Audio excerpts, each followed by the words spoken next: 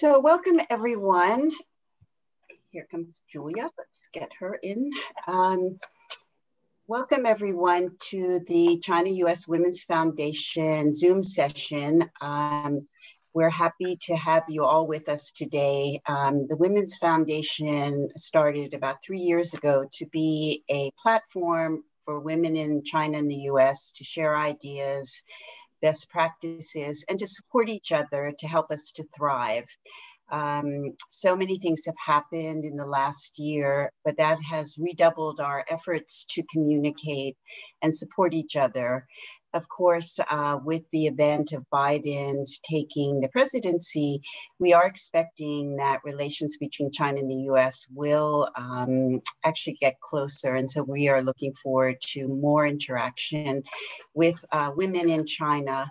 Um, with us today, we have Michelle Dickinson, um, who's going to talk to us about mental health, something that's going to um, really be an issue for the world. Um, uh, in 2021. Um, I just wanted to give a little update about what's happening in China. Um, the height of China's outbreak, more than a third of people around the country experienced symptoms of depression, anxiety, insomnia, or acute stress. Um, an expert in Beijing recently warned that the effects could linger for 10 or 20 years.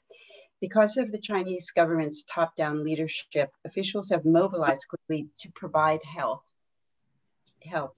Local governments have set up hotlines, psychological associations have rolled out apps and held online seminars. Schools are screening students for insomnia and depression, and universities are establishing new counseling centers. But the country also faces serious challenges. There's a dearth of therapists for the country's 1.4 billion people, and fewer than nine mental health professionals for every 100,000 residents as of 2017. Um, the problem um, is bad in America, and Michelle's going to talk to us today um, but there is more awareness about um, uh, mental health issues um, in America. So, in that way, we are a little bit further along. Um, the Women's Foundation is going to focus on mental health issues both in China and the US in 2021. And we invite all of you, um, if you have expertise, thoughts on the matter, to be in touch with us. Um, we are a active community who uh, welcomes your interaction. Um, so with that, I'm so pleased to be able to introduce Michelle Dickinson. She's a passionate mental health advocate, a TED uh, Talk speaker, and a published author of a memoir entitled Breaking Into My Life. After years of playing the role of caregiver, Michelle embarked on her own healing journey of self discovery. So, we're going to hear about compassion, open conversations, and mental health awareness and how um, this can bring positive change. So welcome, Michelle. Thanks for joining us today. Thank you, Leslie. Um, I'm grateful to be here. Thank you all for having me. Um, yeah, let's have a conversation about that. So I have some slides I'd love to share with you. Um, okay. Um, this isn't going to be all the talking head kind of thing. We're going to have a conversation. So um, I think the first thing we need to get grounded in is that we definitely are experiencing a, um, a second pandemic, and that's around mental health. And the CDC reported that um, one in three Americans are suffering from either anxiety or depression. But actually, in fact, I recently uh, interviewed uh, Paul Gionfriddo, who is the president of Mental Health America. He said we are inching toward one in two. So we really do have a problem, um, and we really do need to give this more attention, um, you know, for all of our populations. So I think it's important for you to understand why I care, right? Why is why is this girl Michelle here talking to me about mental health? Why do I care? So I want to first set the stage for you as to why that statistic is so scary for me mental health has been a part of my life for for as long as I can remember. My mother uh, had bipolar disorder, and I grew up caring for her and loving her and understanding what mental illness looked like from that perspective. And I equate it to being on a roller coaster with her manic highs and a deep depressing lows. Um, and it shaped me. It shaped me into the woman that I became today. But then fast forward, and I've been able to navigate my career quite well. I um, thought I was, I was, you know, the anomaly. I was able to actually take that situation, turn it on its head, and have a very, have a very um, fulfilling um, and successful career in the pharmaceutical industry. And I never really ever talked about my mother's mental illness. I was uh, adopted, so I thought I was pretty much going to be immune to it. But then I was nominated to give my talk to tell my story about mental health because where I was working, we were committed to creating a stigma free environment, an environment where everybody could be themselves, everyone could bring their whole selves to work. So I sort of went first, stepped on the TEDx stage, gave my talk, and that gave me the confidence to um, write my memoir, which is Breaking Into My Life. And it's really the um, raw version of what life is like caring for someone with a mental illness. Um, but then shortly after that, I was diagnosed with depression myself. I was going through um, the divorce of a very long marriage. I was struggling and I sought help because I was something I was very comfortable with and I got support. And as an adopted daughter, you know, I thought I would be okay. I thought I would never deal with this. But in reality, it just reminded me that nobody's immune to a mental illness. Um, and a life event can come along and take you down at any time. Uh, so that was the reality for me. But then, as I'm working in my in my company, I'm asked to lead the first mental health employee resource group. And so we were creating a culture of compassion. We were executing initiatives that were creating more open dialogue. We were highlighting resources that were available. And um, I was using my story to do that, only to have my boss tell me that uh, I didn't meet expectations because I didn't bring my bubbly, upbeat self to work every day. And in that moment, a fire was lit within me. And it made me think to myself, how many other employees, how many other people finally find the courage within themselves to speak up, only to be met with that level of um, no compassion? So, fast forward from there, and I create my company called Trifecta Mental Health.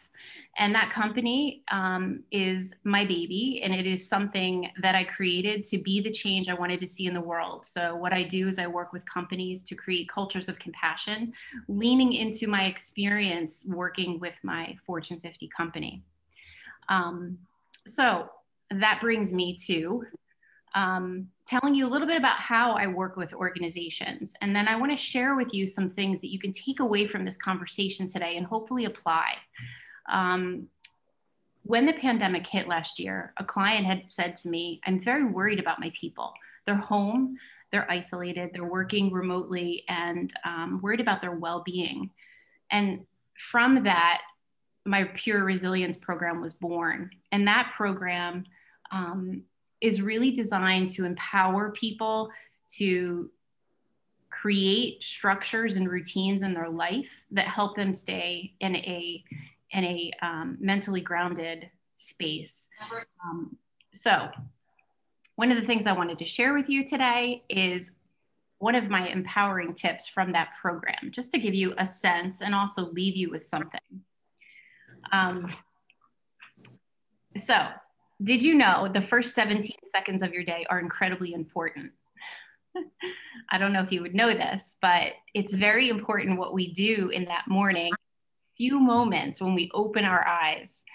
When you sleep, your momentum of thought actually stops. And you have an opportunity in the first 17 seconds to actually start your day off on the right foot.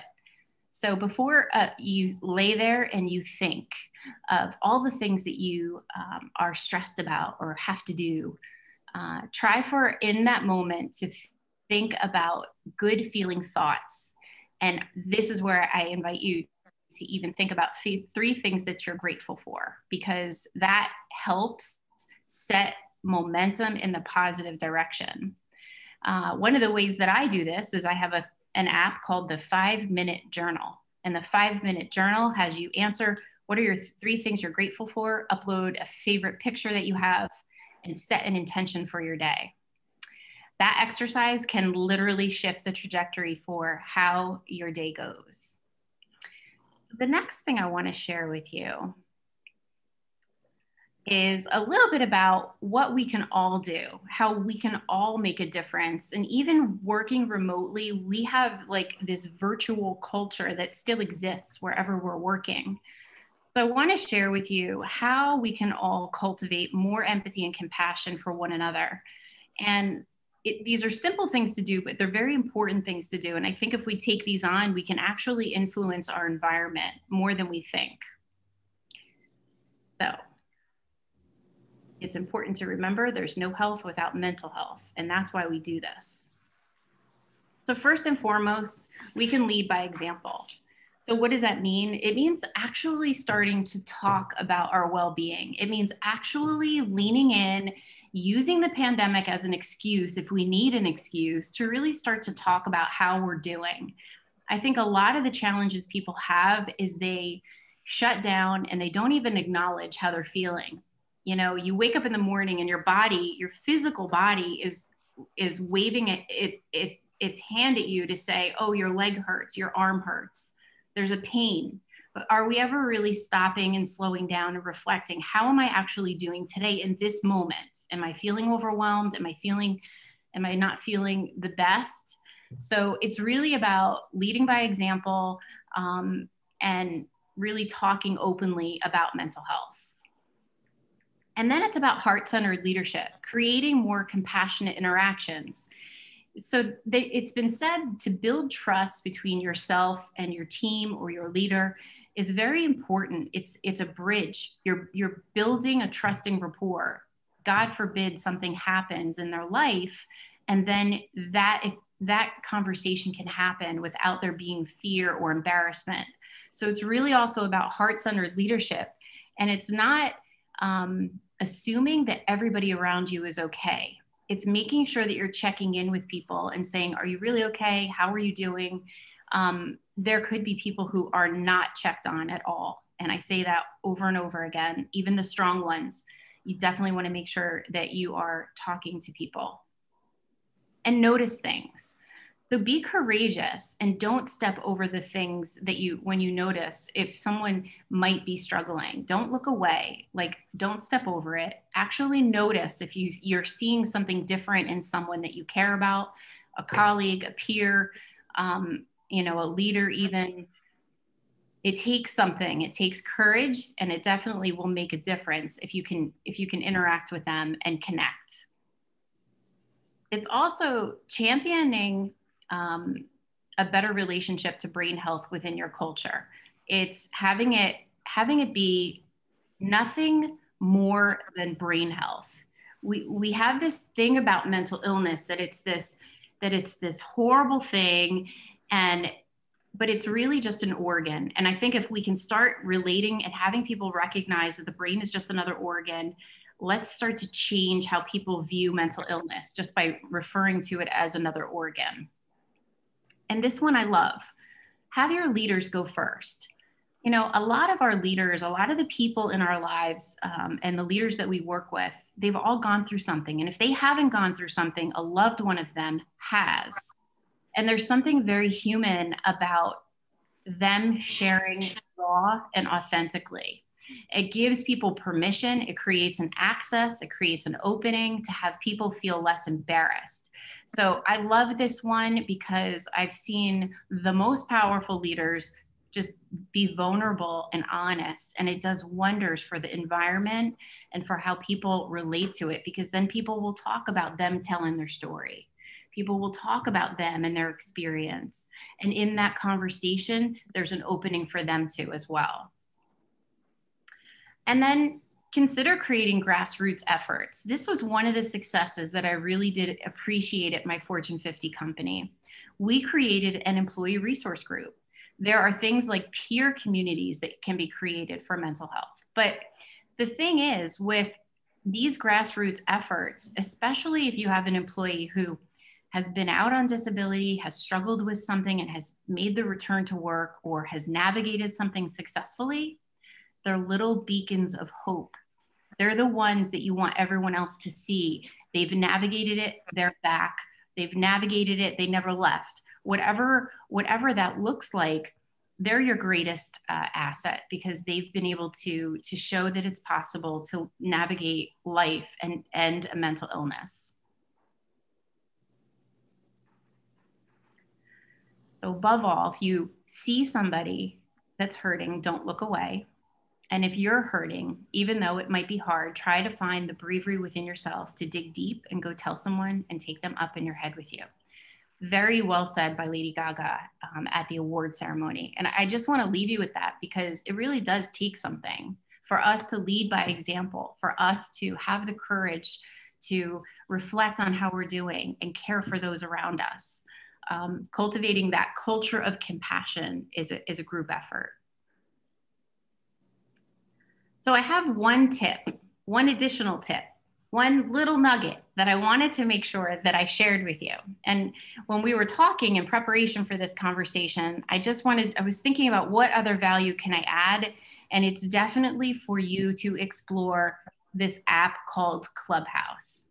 And the reason I'm telling you this is it's a game changer. I've been on it for a month, and it is an incredible platform of learning, massive learning, massive network expansion, and um, just an amazing platform that is voice. And with voice, there's connection. Um, I've been in very deeply intimate rooms where there's a lot of open um, conversations. Um, but let me take a second to just sort of explain to you, if you've never heard of it, what actually Clubhouse is. So, Clubhouse is considered the first ever audio based social media app, and it's only available for iPhone. So, if you have an Android, it's not yet available. Um, it's a new type of social product, and it's based, like I said, on voice but it allows people to talk, to connect, to tell stories, to share concepts, to develop ideas, to deepen friendships um, and it's global. Um, so there's people from all over the world who have wonderful nuggets of information to share, ideas, uh, resources. It's it's a massive platform for learning. Uh, I've learned so much in the short amount of time I've been in there. I've gained a lot of connections and resources, and um, so it's wonderful. So I really just want to share that with you. It's invitation only, so you have to use your network to get in, but it's definitely something um, tying it back to mental health. There's a lot of people who are alone, and they have they have said that this voice this voice app has really helped them feel connected. So whatever it takes, connection is everything. Um, I just wanted to like highlight that for you so that you knew it was um, available. Thank you.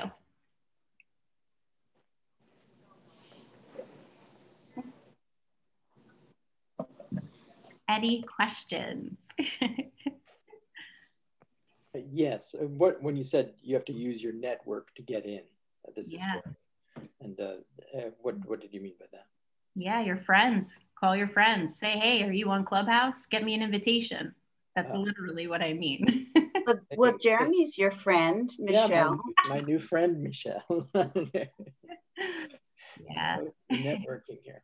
Yeah. Well, um, so I just wanted to um, say, Michelle, when we spoke before, I was really taken by that information and tip you gave about the 17 seconds because somehow I feel like I was told in cognitive therapy, think of all the things that could go wrong in your day and then prepare for that. So I kind of was in the habit of I'd wake up and I think, okay, what could go wrong? What do I need to anticipate?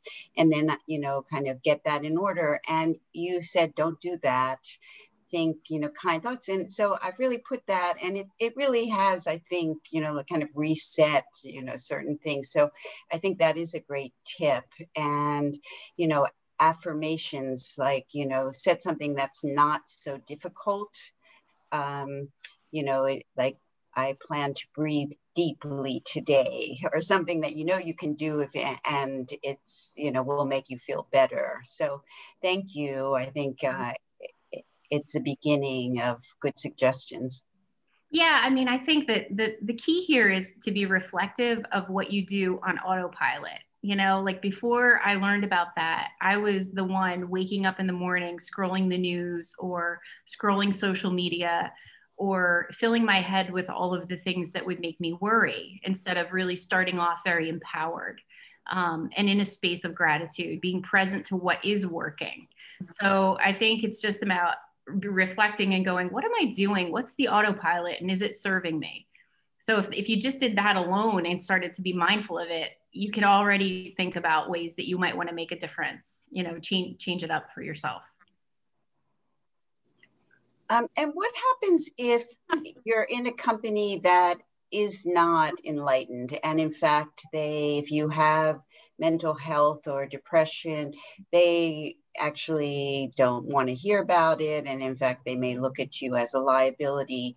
Are there strategies to somehow deal with that i would say that's when you find your circle whether it's your circle within your work or not right? So if your if your company culture is not there yet so it's interesting because i've been reading a lot of really amazing articles on linkedin about this. And organizations the ones the organizations who are being acutely mindful about mental health and mental well-being they're the ones that are going to attract the top talent. And they're the ones that um, the other companies that you're mentioning talent is not going to necessarily stay so, what I would say is find your tribe wherever that is. If your culture isn't supportive, then who are the people in your life that you can surround yourself with where you can get that connection um, until you feel like you're in a space to be like, okay, is this the right place for me to stay? Is this the culture I want to be a part of? Um, but it's important to find find those that you can connect with, and if it's not work, then find your find your community.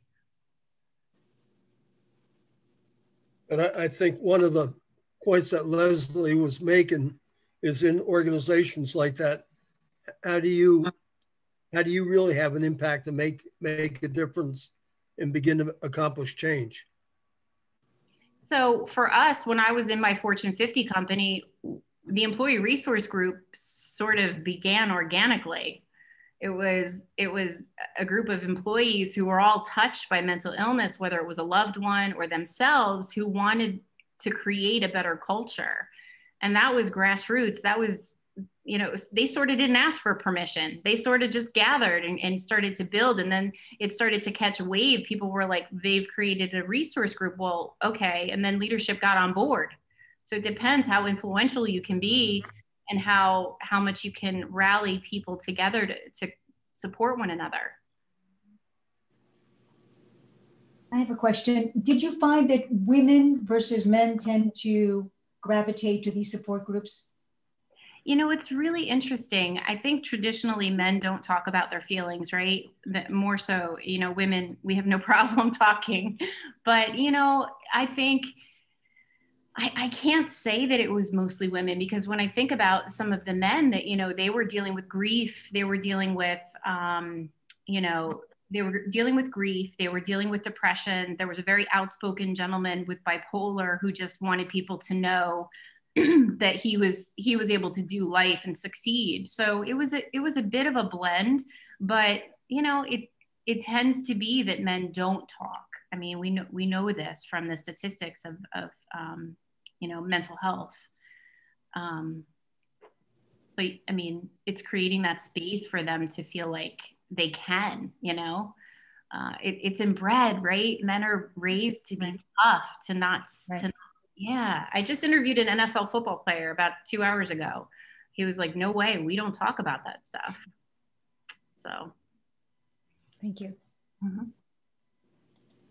Could you tell us a little bit more about um, your mother? You know, clearly she was a big influence on you. Uh, how did your relationship with her impact your mental health? Yeah, you know, I was the one to think at first, well, I'm adopted, I'm not going to be affected by this. But then, you know, you bring in the, the argument of nurture versus nature, right? so I had always dealt with seasonal depression. Um, and I just knew just get to a beach for a little bit in the winter and you'll be okay, you know. But the um, the impact of my divorce really did um, have me realize that, like, you know, being around my mother's depression, feeling her sadness, feeling her despair, and watching her cry. Um, you know, all of that came back when I was diagnosed with depression. So it definitely shaped me, but it also taught me a lot of positives, right? Like it taught me empathy. It taught me, it taught me how to create sunshine on a rainy day. Like I, I got real good at that. So I think that that experience shaped me and, and, um, in a lot of ways is the driving force behind the work I do now. Um, because she did suffer a lot and if I can alleviate this people in isolation and in shame, I want to do that. Yes, Julia? You're on mute, sweetie. Good. Oh, so professional. Um, I am. I really appreciated what you said about uh, workplace, workplaces, and how important it is for the leader to tell their story. Interestingly, I worked in several different PR agencies, and my specialty was mental health drugs, and my clients were pharmaceutical companies. So we may have crossed paths at some point. Um, and I was I had never thought about this before. How in one agency where you know we worked on a number of um, CNS drugs um, and with all these great advocacy organizations, including Mental Health America. Mm-hmm. We never internally had any, it was like this removed thing. Um, in an environment that was otherwise extremely compassionate. Then when I moved to the, to the next agency where the CEO talked, uh, you know, talked to the, you know, was quite open and had written about his mother's um, experience with bipolar disorder. Um, it did, it helped to, dis- it went far in, I think, destigmatizing and helping even me, people like me who was working in the area just see it as a thing that was, could be closer and just was however, we never got to the point, and this was in the 2000s, and maybe things have progressed. The idea of like, you know, having internal meetings about this wasn't quite there. But listening to you, I realized every place I've worked, women mm-hmm. have played that role for me, and I have played that role for other women of creating an informal community which we never thought to go to leadership and say, hey, there's a need here because it was 1994, you know. Um, but uh, yeah, I really you're you're just right on and and so important for for leadership. But so now my question. Yeah. Um, so I'm self-employed, uh-huh. and I'm my own leader. I'm my own boss. I have to create my own structure and leadership, and have you know, have confronted things in the last year yeah. that, you know, I thought I had it all handled, but now, you know, not being able to run out to Marshall's at two in the afternoon is destroying my life. Mm-hmm. And if I don't get to HomeGoods, you know, by March, it's over. I got it. I got it. You really need to just build your community, Julia. You really just need to know who who is in your tribe. And I'm gonna I'm gonna go back and, and point to clubhouse as, as silly as it might sound there there are communities in that in that app where you can just talk to anyone at any at any time of day i'm in clubhouse are you I, have been I, I've been struggling over the last two weeks to understand how to fit more social media in my life. Yeah. Um, but no, everybody is saying I, believe me, I got I I have so much support and so many people are urging me to do this. So maybe I think you're the, the tipping point. I'm actually going to make a commitment to yeah make it work for me. Yeah, it's it's community. You know, mm-hmm. I you know, I'm in the same boat. I'm self-employed. I have my right. own company. I've never done this before and I felt like I was swimming without a net. So now on Clubhouse, I found a mastermind group I found people who were doing the same thing I'm doing, and I'm surrounding myself with them for connection, connection, support. Um, and that becomes mental health support, believe it right. or not. Right. Oh, absolutely. We're absolutely. alone all day long. I look at my three dogs and I'm like, hello, you, you don't talk. So that sense of community. Yeah. All right. Okay. I hadn't, believe it or not, I hadn't made that connection. I'm going to look you up on, uh, on Clubhouse and connect. Oh, that would be great. I'm Julia 22 Walker. Awesome. Michelle, did, did your mom ever improve? Uh, you know, it was like it was like in waves. Like she she was on medication and then the medication would work and she'd start to feel better. She'd take herself off of the medication because she thought she didn't need it. And then she would crash. She improved as she got older. I think she stabilized. I wouldn't necessarily say improved. She stabilized to the point where she wasn't going back and forth to the hospital, being being hospitalized. Um, so I think I think she sort of got to a stable place. I, I have a question. I remember reading that um, Elon Musk uh, confessed to having uh, to be being a depressive, mm-hmm. and there's several other CEOs or or you know uh, uh, business titans, for lack of another term, who have come out. And I and I wonder is do, do we need more senior leaders to to be more transparent because ultimately you know when someone has issues it it's it, it doesn't have to be announced but you know that there's something disturbing that person's mind processes. Yeah, and yeah. it trickles down. It, it becomes evident in that person's leadership style at some point or another. So i just wonder if there's if there's any kind of movement afoot to encourage ceos by by setting examples that they will be helping so many thousands of employees by by by stating what it is and yeah. a safe environment yes and look at someone like him telling his story that's powerful you know that's powerful. I I think um, I don't know that there's a movement. Maybe you're tipping me off to something, but um, but I think it's important. I mean, I know for myself, uh, I've been trying to. So I have a mental health series called Michelle's Conversations That Matter, where I interview people, and I've been trying to grab some of the most successful entrepreneurs, like millionaires, people who have really hit it, to really sit them down and say, "Tell me about your mental health journey," because there's so many new people that are that can look up and learn from them and um, yeah people need to be hearing this from people that they look up to. And and then it becomes far less of a stigma. So i think you might be right. There might be some power with getting more leaders to talk about it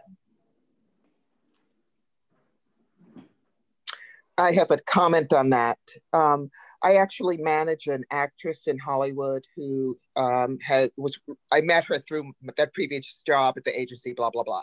Um, Jennifer Lewis. She plays the grandmother on Blackish, and she has written and talked, spoken extensively about her experience with bi- bipolar disorder, wow. and um, so I've been working with her for ten years, and during the last year, I've been gratified to see like an explosion of requests for her because there's so much activity, um, especially in the African American community right now around mental health. It's like the cover has been ripped off, yeah. the stigma that yeah. has been there for you know generations.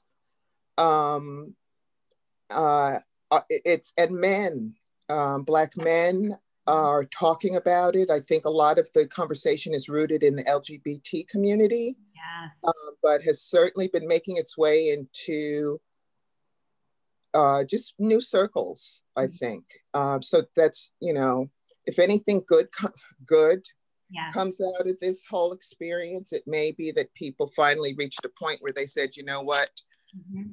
I can, I can seek help.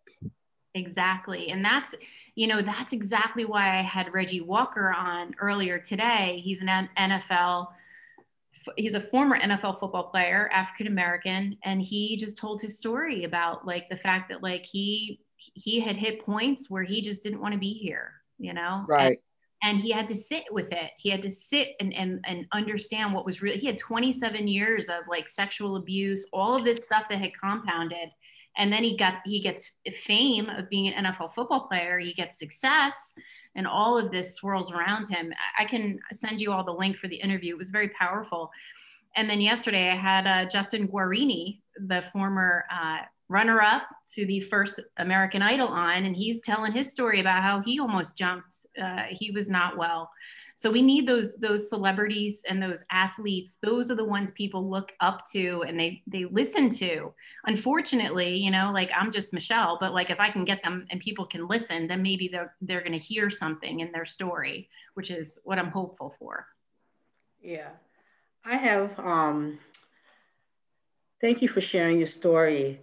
Um, I have um, some relatives that are deeply religious, talking about the African American slash Caribbean community where I'm from, mm-hmm. and um, and there's a, a, couple of relatives that I know that suffer depression because of divorce and other things, but their only alternative is to go to church. They're very um, Catholic and go and pray. And I've been thinking of how do you find um, you know, maybe a, a Christian therapist or someone that um, they will respond to. Some of the churches are more sophisticated. Some churches have ministries where they mm-hmm. have therapists on staff or whatever, but there are other churches where um, the only advice that they're giving a lot of people who's been through a lot of trauma yeah. is just come to church and pray and they see they still are not fully accepting of mental health so you know, I think we also have to work with the clergy and some of these different groups in terms of how do you get um, help to pe- to people, you know,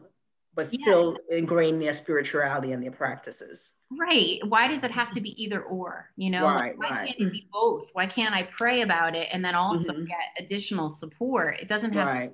But I think you're right. There's some work to be done there with with leaders of of those organizations. I have a suggestion. Mm-hmm. Um, I can't see your name. Um, Gabrielle. Gabrielle. Gabrielle. nice to meet you. You too. Uh, um, are you familiar with the Balm in Gilead? Yes, I am familiar with them. Okay, because um, mm-hmm. I know I I worked with them years ago, but um, they used to do a lot of work around HIV/AIDS. Yes, yes, yeah, but they broadened HIV/AIDS. Yeah. Oh yeah, so they mm-hmm. have broadened mm-hmm. um, quite a bit mm-hmm. and do, but also I um, many of the so you said your relatives are Catholic. I believe um, I know that the African American denominations, mm-hmm. which don't, which do and don't have, you know, footholds, you know, uh, globally, um, have resources, mental yeah, health. Some, some, of the churches are more sophisticated than, than yeah. others. Some of the larger churches, like Abyssinian and Manhattan, and some of these churches, they have like um, bereavement groups. They have all kinds of groups, but some of the smaller churches don't have that. Yeah.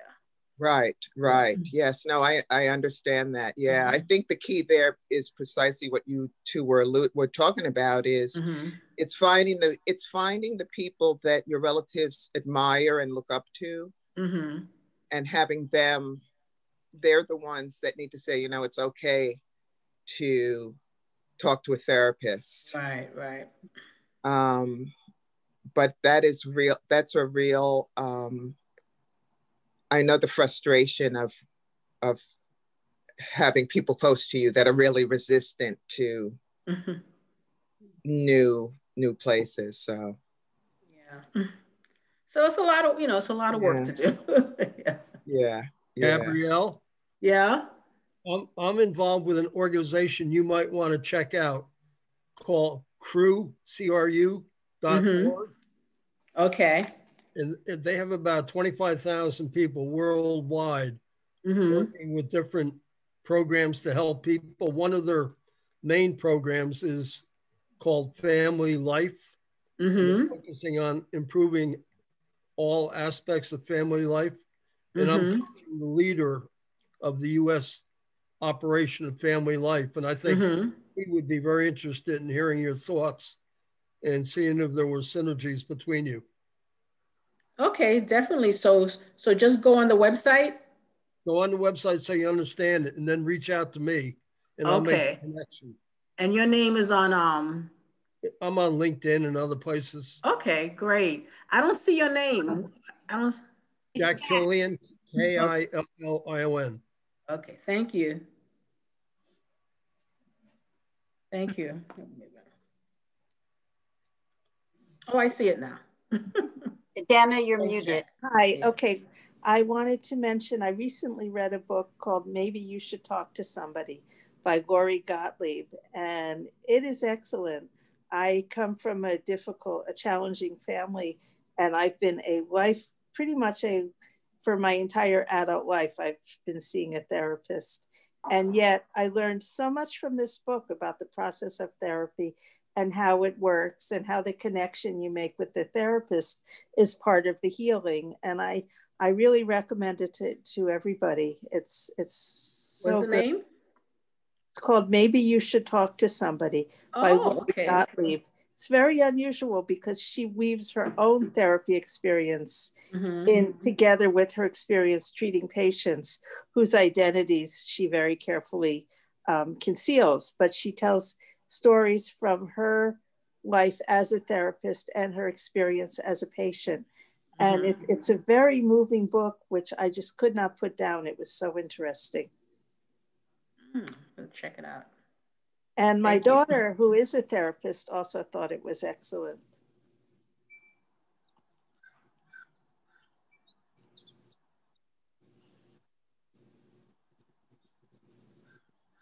Michelle, I think you should give another mention of your book because I think your book is exceptional and I think Mhm. everybody would benefit from reading it.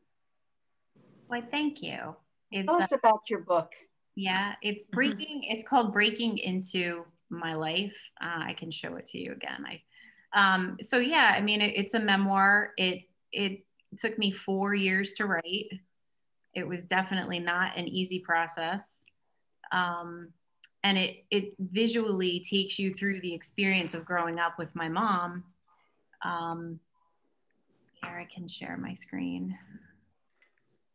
Um, and you know the whole idea behind me wanting to write this book was really i wanted people to walk with me in that experience because you know for people who have had never ex- been exposed to someone with a mental illness you know society gives us these these definitions of what someone who's mentally ill looks like right? Unfortunately through the media or whatever. I wanted people to recognize you know my my story is very personal because like I cared for her when when she was so sick that she couldn't be left alone. I stayed home from school. I cared for her. I saw her crying, uh, you know, and there was nothing I could do to console her. You know, I saw her being taken away to Carrier Clinic, a, a mental institution here in New Jersey. Um, and and so my goal with the book was really like, let me walk you through what that's what that experience was so you can get how hard it is for people with mental illness. Um, and so yeah that, that's what i did. I, I, I take people on the journey with me from being a very little girl up to my young adult years up to getting married. And then the you know the lingering effects of of my mother on me in terms of the woman i've become the habits that i constantly am working on um, you know, when you care for someone with a mental illness, it's very easy to get lost in the care of them and forget about yourself and uh, put everyone else's needs before your own. So that's been um, a constant unpacking for me and a lot of therapy to be able to, um, you know, put myself first. So. Were, were there other siblings in your household, and also where was your father in the whole picture of this of the the dynamic there? Yeah, you know, I'll talk about my dad. My dad, um, he worked a lot. He worked for IBM. He was an engineer, and uh, I think that was like his his escape. He really left my mother to to do the you know caring for at, at home. Um, but my father's knowledge of mental illness was very limited. You know, I mean, this is we're talking the 80s and the 80s, mostly the 80s that I can rec- recall um, you know, he would look at her and say, snap out of it. Anyone who knows someone with a mental illness can't snap out of it. It is what it is. Like I reflect on that. So he knew he did the best he could with what he knew, and he still didn't know enough. Um, and I had two cousins that came to live with me. I, I talk about them in the book, and um, and yeah, it, it, didn't make it any easier with them. Um, and my mom was just my mom. I mean, she was abusive. She was physically abusive, mentally abusive. Um, but then after she would go and go and have shock therapy and come home, she was like this brand new woman. And I was like, who are you? Um, and she was sweet and she was loving and she was everything I hoped for, but it was always like so, so short, short lived. Hope that answered your question. It did. Thank you. Thank you. Yeah.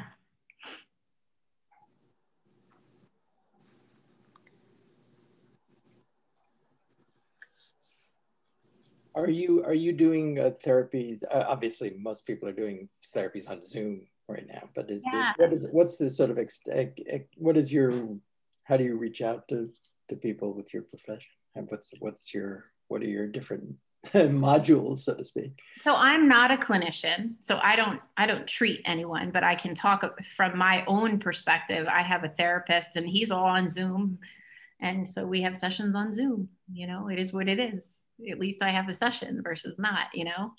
Um, but you know, the way I reach my, I'm reaching out to the clients that I work with is it's everything is virtual, and their employees. When I'm doing the resilience program, it's all virtual.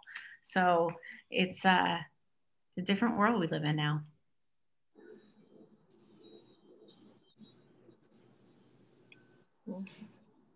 We will uh, put up more information about M Michelle's programs and her book um, on the China U.S. Women's Foundation website. So um, we wanted to be a resource. I can also see, Julia, that the whole topic of um, African Americans and mental health, uh, especially after this during this pandemic, it's probably something that we should consider either as a Zoom talk or as, you know, information, because I think that's one of the things with Black Lives Matter that, you know, all of the legacy of slavery and discrimination has really wreaked havoc and it's just now starting to be talked about, you know. Um, so, and then how about being in a team at work where it got talked about in June and never mentioned again.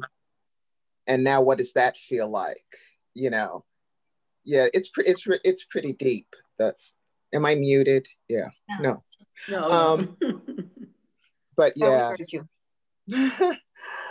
it's uh, it's a big yeah.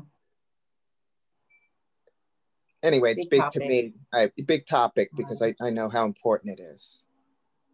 Yeah.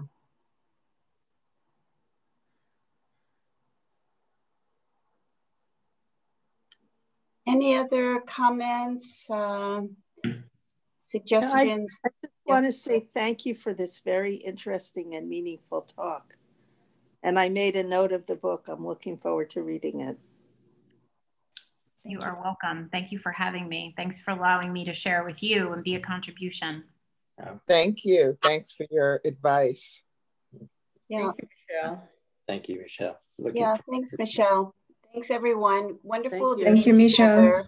Um, and uh, really, um, I'll send a survey to everyone who participated. If you have ideas for future Zoom sessions or would like to share insights, please be in touch. Um, I'm Leslie at cuswf.org. Um, we are a community. We honor everyone who participates, and we look forward to um, being together and supporting each other. Thank you. Bye. Yes. Thank you. Bye. Okay, bye everyone. Bye. Bye.